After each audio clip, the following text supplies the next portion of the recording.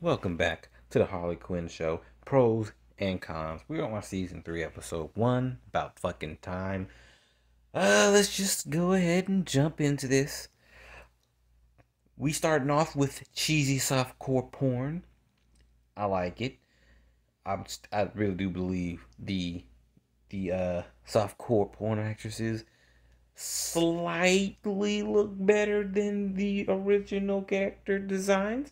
That's just me. I'm me being uh, kind of biased to porn stars a little bit, but you, you, you know, it is what it is. Ivy does wear leaves, depending on which version she is. Um, she says she doesn't wear leaves, which at the same time is kind of like, then what the fuck are your pants made out of? They look like leaves, but or a bush, which is technically a tree with with leaves on it. But it, you, you get my point. Also, depending on what version Ivy is, again, she does wear leaves. Uh, they mentioned it was two weeks since they ran off in the Fortress of Solitude when they left. Now Harley kidnapped the Queen of England as a surprise for Ivy for their two week anniversary. Why would Ivy want the Queen of England, which by her reaction is clear that she doesn't want her? Um, how did they do all this traveling and scamming Gordon, Gordon out of his money all within two weeks? They must have been moving nonstop because they were traveling like crazy. Um, Ivy may choose to not question the fact that Harley possibly killed the Queen. I'm going with she just killed the Queen, which would cause their little adventure to end real quick. Uh, she could possibly just have put a target on both of them, which can get them killed. Hell, even if she didn't kill her, they could still have a target on their backs that could get them killed. Because she kidnapped the Queen of fucking England. Why do that? Uh, why are people in Gotham so stupid? They cheer for some bitch going Harl Ivy. Everything else was booze. Don't celebrate criminals, jackasses. They would kill you without a second fucking thought. Like, seriously, read up on Harley's crew before she was killed and sent to hell and read up about her time in hell. Back to the point, Gordon and his spending, the mayor in general, are in fact boo worthy. So is Harley and Ivy. They are also boo worthy. Do not cheer just because they're in a relationship. That makes no sense. That's fucking stupid. Yes to infinity. Yes to fucking infinity for Ivy's Island because if I remember if I remember correctly, it didn't have a name, but she did create a paradise on an island that was just straight up. It was just island. It, it was just rocks and dirt, and she made an entire fucking paradise filled with plants. Until some asshole decided to destroy her fucking island and all the plants on it because he was giving a demonstration of the weapons he was selling. So the whole island got burned down. And that little girl also got killed. Yeah, there was a little girl on the island at the time that her island was basically destroyed. So there's that too. Anyway, uh whether the queen is dead right now or not, you probably already caused an international incident since you kidnapped her and then pushed her out of the jet, Harley. So you don't have to hope to finish off the queen and cause an international incident. You already did, pretty much. Uh, this people is what happens when you spontaneously jump into a relationship, especially when the the parties involved have a lot that they don't have in common. Ivy is happiest when doing research on plant life and reviving and protecting long dead species of plants and killing assholes who try to harm those plants. Fair enough. Well, not fair enough. Also, Ivy actually gives people a warning. A warning, by the way, it's just a downright threat that if you continue doing this, I'm just gonna straight up murder you. It and people, the rich assholes, tend to not take that warning, and then she kills them, and then she goes to jail, and it's like, Ivy, stop killing people. Like, Seriously. Anyway, Harley is happiest when causing mayhem and destruction for all. Harley right now, Harley right now is unhappy with this situation, but doesn't want to say anything. Obviously, so she doesn't hurt or disappoint Ivy. Ivy does the same thing as well. You saw it on her face a lot actually in the beginning before you even saw Harley Harley's face because when Harley was going all over the place fucking wreaking havoc Ivy even at one point said he was kind of fucking scary at one point. and it's like you can clearly see she's not into all the chaos and destruction she never was but Harley is into that shit. Ivy isn't. Ivy actually likes a little peace and quiet. Harley does not. They're complete opposites and they keep trying to uh, it's like you can uh, it's obvious they don't like what the other person is doing especially when what they're doing is uh ivy can get really immersed in her work and it makes harley bored and I and when Harley gets bored, she does stupid shit and she just goes on a goddamn rampage. And you can see that Ivy doesn't like that all that much. And that's the basis of their personality, their fucking characters. You have completely different people who just don't like the what the other person is all about. They don't like what the other person is all about in general, so their relationship is like strained. It makes no sense, but representation. Fuck you people. Anyway, they look better body wise than the people they are dressed up as. I've, I've mentioned that before, and I'm and and, and it's another pro. Just like that. Not in the face though. Like I'm not even gonna lie. In the face, it's like, mm, no, no. But body wise, hell yes. They are straight butterfaces. And the Harley chick is the one dressed up as Harley is extra thick. If you feel me, you you you, you know what I'm talking about if you've seen the episode. She she kind of extra thick.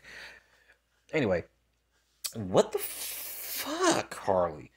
Why would you turn around and start blabbing to someone about Ivy and that she is and that she has something planned?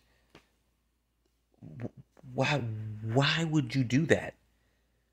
You're, you're literally snitching right now. Why are you doing that? There is no reason for you to turn around just because this lady called you both Karens. You decide to turn around and start running your fucking mouth. Not only did you start running your fucking mouth, you started running your mouth to fucking Amanda Waller, the worst fucking person to run your mouth to. Seriously. Batman can run his mouth to her, but nobody else can. She knows she can't do shit to Batman. It's like, but it's like, come on, why? Like it, it, like it's really possible Amanda Waller did not recognize them. She called them Karen. She didn't call them by their names or anything. Because Amanda Waller ain't all about that slick distance. She just gonna straight do some shit to you and just and just have your ass wondering when it's gonna happen. You know she's gonna do it. You just gotta wonder when it's gonna happen. But it, but it's like, but why? She, why?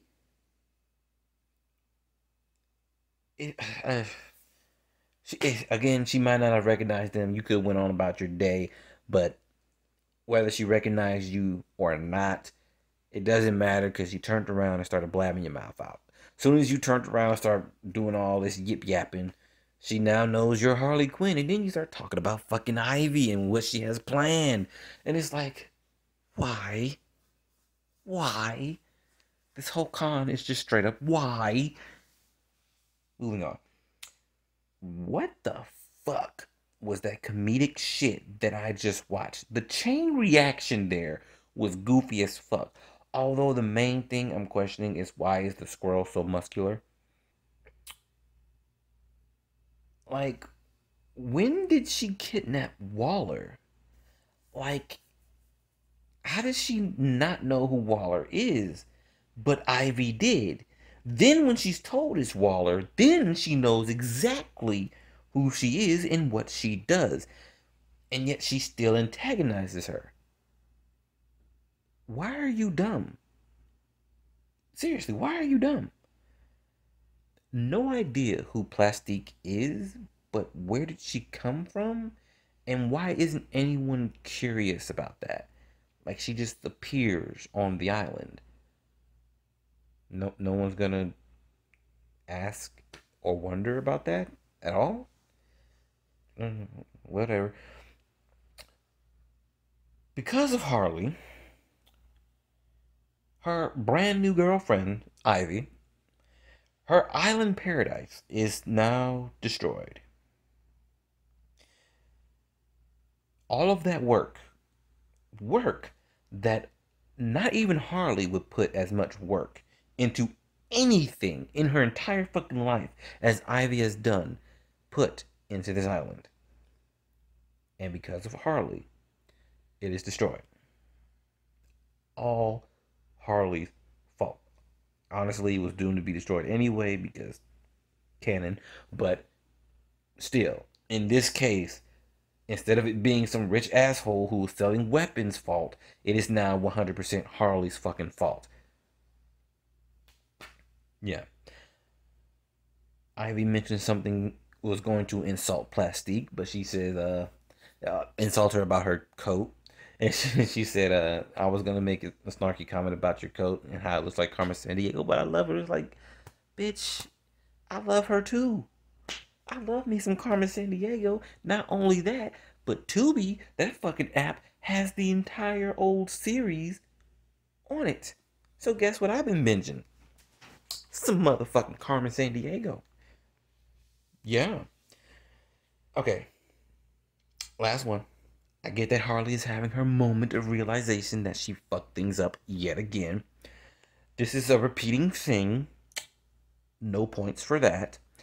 Um, also her cheating, uh, also her cheering up Ivy, saying that she can do it now that she has her, and blah blah blah. Because Ivy doesn't think she can, uh, like she says, uh, like she's putting herself down about how she can, uh, re reclaim uh, the world for plants and shit like that. It, it it's been a minute, okay. I I wrote wrote my cons and pros down, my little notes here, and then I just it, it's been a few days since I watched the episode, but I kind of remember it.